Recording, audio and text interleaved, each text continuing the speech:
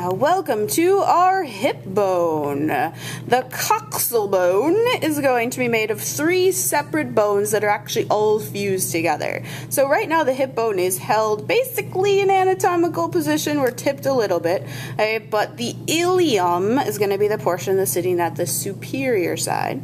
And then as we follow down, the ischium is going to be the broader portion that's going to be on the posterior inferior side. And then the pubis is the part that's going to face forward um, and uh, make up the front part of our hips.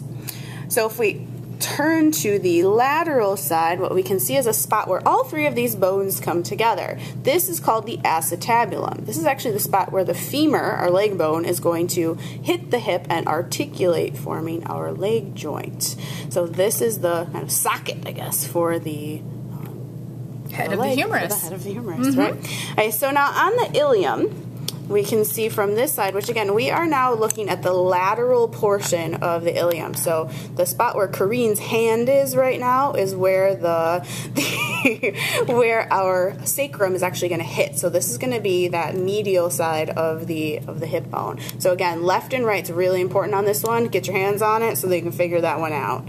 So the first little bump we can see on the anterior portion is called the anterior inferior iliac spine. Nothing like a mouthful, mm-hmm. right? Mm -hmm. That's a long, that's a long one. And then just above it is the anterior superior iliac spine. And wow. as we follow the spine up and around, we hit the um, iliac fossa, and the iliac crest. So the iliac fossa is going to be the flatter cupped-ish area, and then the crest will go along the top of the ilium and kind of go towards the posterior side, again where that bumpy section is, and we'll follow it down to that big notch. You can see that notch is what we call the greater sciatic notch. The greater sciatic notch will follow down to our ischium, and the ischium is going to have one thing on it called the ischial tuberosity. It's really just the, you know, bottom of the ischium, basically.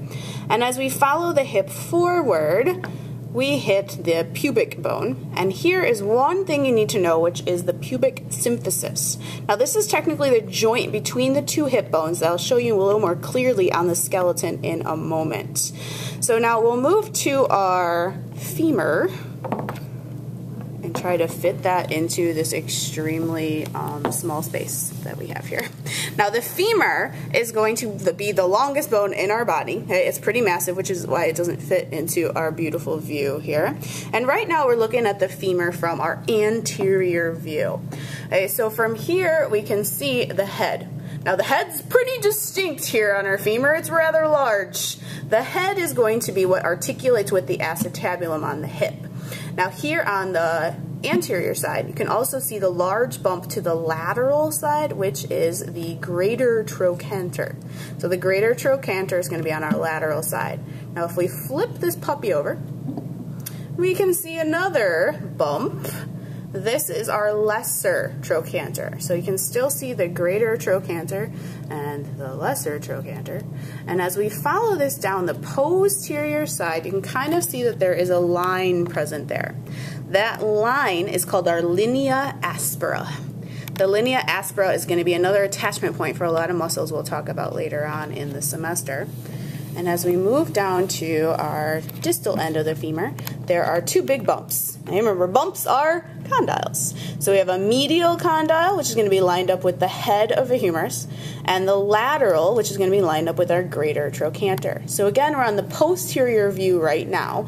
So if we flip it over to the anterior view, you can see there's a nice flat spot between those two condyles. This is the spot where our patella is going to articulate. So the patella would be our kneecap, and that will articulate well there.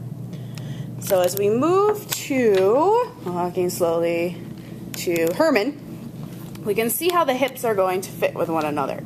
So we can see the spot where the ischiums, or the, sorry, the iliacs are going to be touching the sacrum okay, at the posterior side. So the iliac right there is going, so the hip bones don't actually touch one another at all, really. They don't touch in the back or in the front. Now in the front, we have the pubic symphysis, which is going to be that cartilagey place where the two hip bones are going to be here in the, in the front.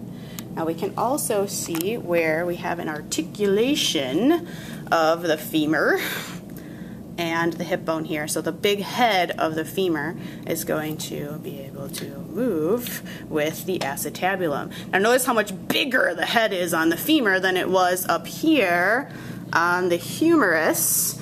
Okay, so the humerus head is much smaller than that of the femur. And that gives us a lot more rotation of the shoulder than we have of the hip unless you are some kind of crazy circus dude, I guess. They have a lot of rotation. Hey, as long as we're here, let's take a quick look at the patella. All right, let's do that. So down here at the knee Patella. Is the patella, which is held in by tendon and ligaments and surrounded by a lot of good ushy gushy stuff that we'll be looking at as we look at the knee joint. Sounds great. right, all right, and we're gonna move on down to the last part of the leg.